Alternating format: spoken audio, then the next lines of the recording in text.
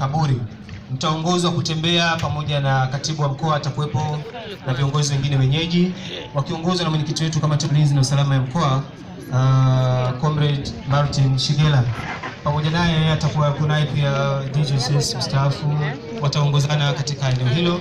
Kwa hiyo viongozi walioko meza kuu hapa ambao kwa namna moja ama nyingine hawatakuwa katika ibada ile ya usaliaji wa maiti, wataongozwa basi na vijana wetu wa ulinzi ili kuwaongoza kwenda katika hema maalum la la viongozi katika eneo la Malalo.